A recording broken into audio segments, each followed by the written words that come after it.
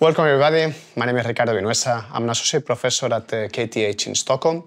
And today we're going to continue with our machine learning course, uh, focusing more on compressed sensing, a whole new uh, chapter and a number of sections that I hope will be very interesting and very exciting. So let me start by uh, introducing the second chapter. This is chapter number two. We're gonna look at sparsity and also compressed sensing.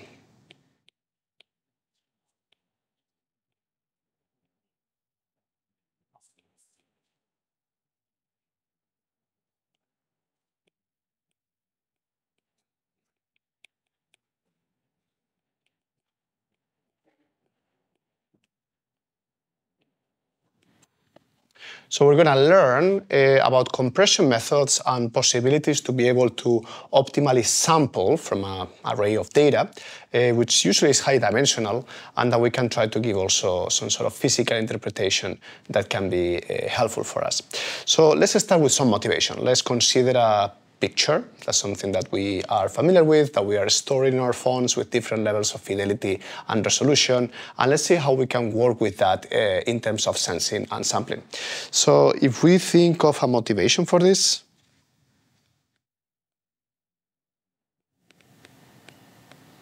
okay, uh, let's look at, let us consider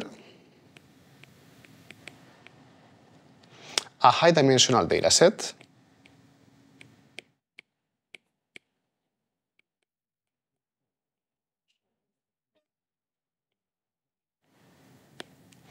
And this can be, for example, an image.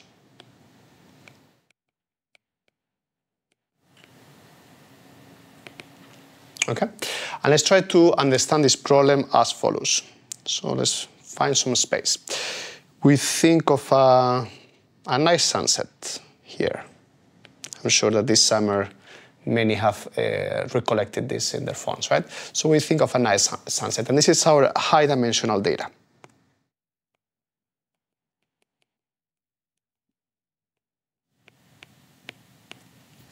Okay.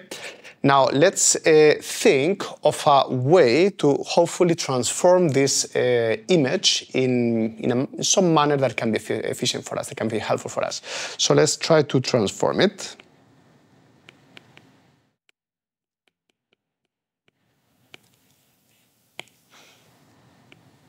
And let's try to come up with some efficient representation of this high dimensional image.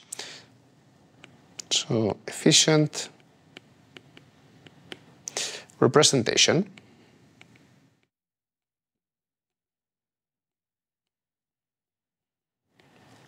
And to obtain a, a, new representation, we need a set of coordinates. So we're going to find a set of coordinates that can be uh, helping us to represent the same data, but in a more compact way. That's a little bit what we're trying to look for here. And to do this, the SVD chapter that we just covered in the previous series is going to be very helpful. It's all about finding the right coordinates such that the data, which can be high dimensional, it can be complex, it can be sometimes difficult to understand, it can be then understood in a new perspective, eh, in a new set of coordinates, which can help, hopefully shed some light into the problem that we want to understand. So, uh, the efficient representation in new coordinates.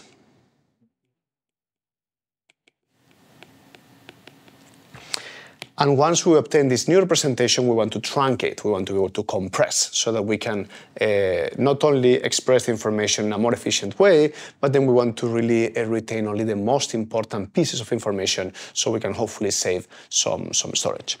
So we are going to do some truncation. After we do the truncation, we end up with basically a, a reduced dimensional uh, version of the same data. So a low rank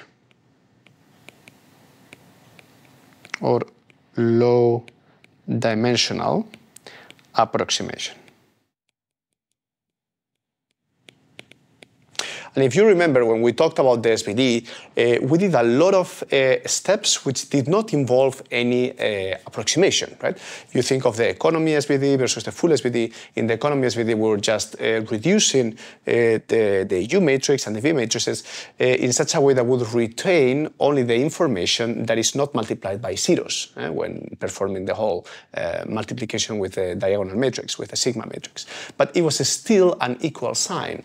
Uh, when we go into the approximation, when we have an approximate sign, is when we uh, start to truncate. So we take uh, the M, Madrid number of columns. When we start to remove more and more columns, that's when the data is not equivalent, that's when we truncate. So that's a little bit the concepts that we need to refresh to be able to use that efficiently in the context of compressed sensing.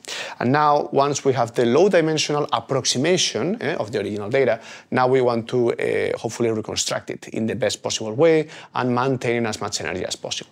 This is what we would call here the reconstruction.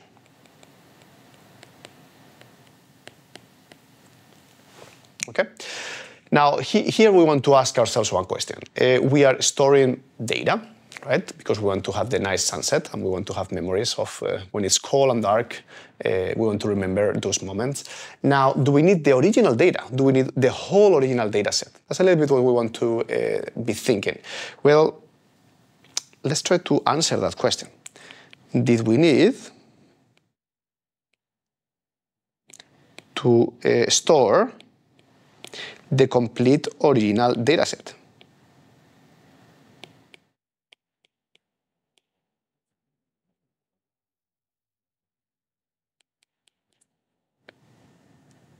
Okay, let's take an example. It's not going to be high dimensional. We're going to take a small uh, image of 20 pixels by 20 pixels. So if we have a 20 by 20 pixel black and white image,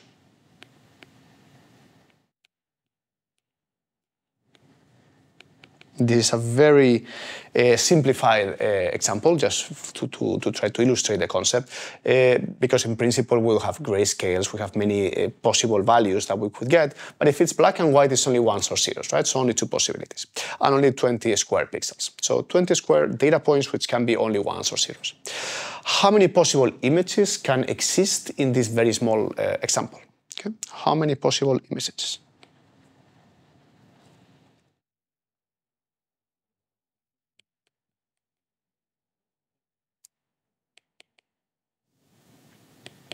Well, we have uh, 20 times 20, which is 400 pixels, right? And those pixels can take two values, one or zero. So the number of possible combinations would be 2 raised to the power of 400, right?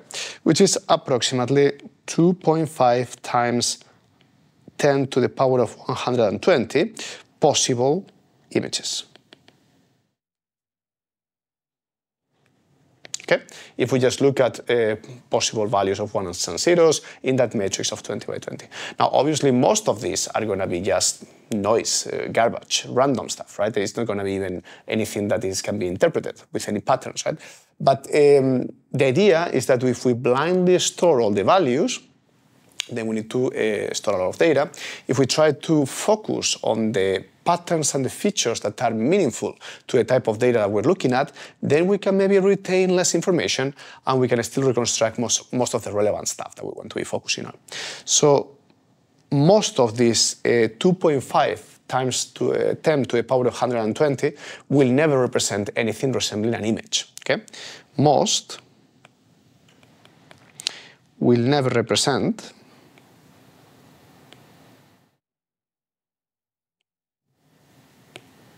data. And the useful images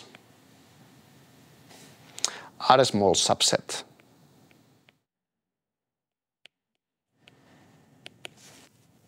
Therefore, is there a more efficient way to store the data?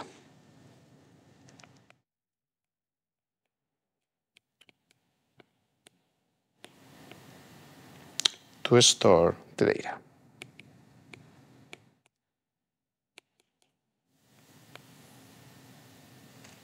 Well, that's what we want to answer in this chapter, right? That's kind of like the main, the main idea.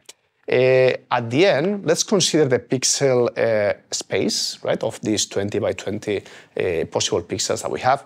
So let us express the data in pixel space.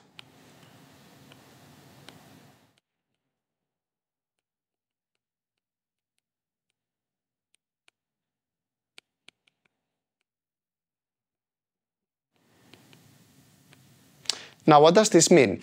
Now we're going to take our data matrix X, okay, our fantastic uh, capital X. This is going to be the sum in A and J of Xij times Eij. Okay, and here I want to um, highlight that these Eij are the basis elements, and this X would be the components, basically. So I'm just expressing my original data in these uh, bases, uh, which are basically representing me at the pixel space. Now, um, what we want, ideally, is the following. We want to express x, the data matrix, approximately as the sum in k, so a number of, uh, of indices, of skvk, sk times vk, and here vk is a tensor, where sk are coefficients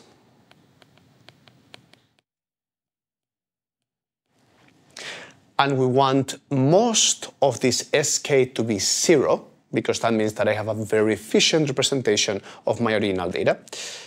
So we want most to be zero.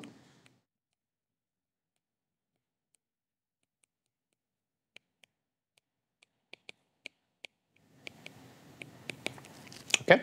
And then with VK, what we have is a basis in which the data is sparse. Okay?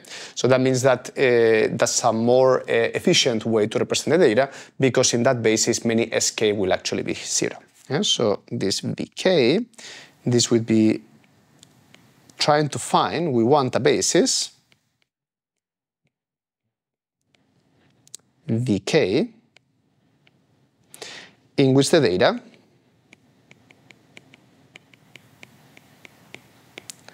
is sparse.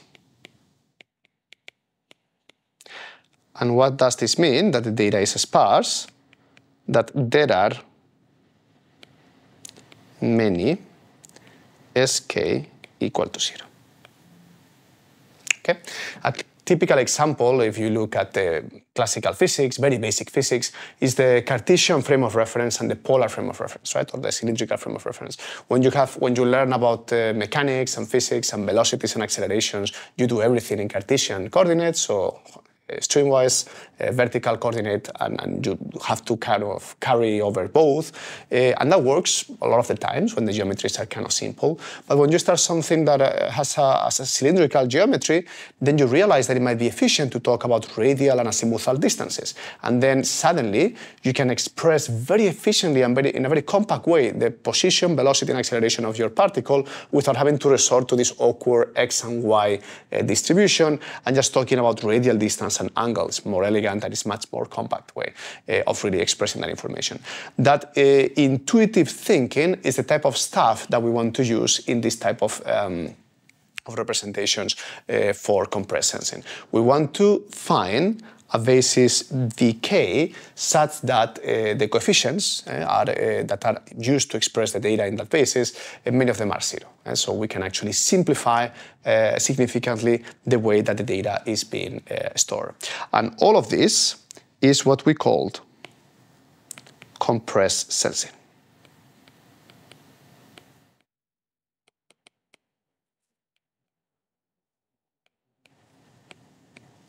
So I just wanted to give you a little introduction, uh, a kind of overview of what we'll be covering in this new series, in this new section about compressed sensing. Uh, we really want to look at data, at real data. We want to really find ways to sense it, to sample it, and to store it efficiently, and then try to get some physical interpretation out of this. So that's all for today's short introduction. Um, that's all we have. So we'll be very happy to discuss more and to get more feedback from you, and then see you next time. Bye.